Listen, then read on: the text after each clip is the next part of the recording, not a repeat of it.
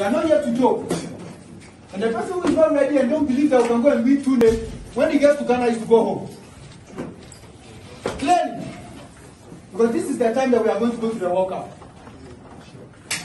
Don't somebody joke. If you know you don't have the heart, when we land in Ghana, you are going to listen to what Ghanaians are going to say. Take your things and go home. We are going to win and we qualify. Okay? So relax.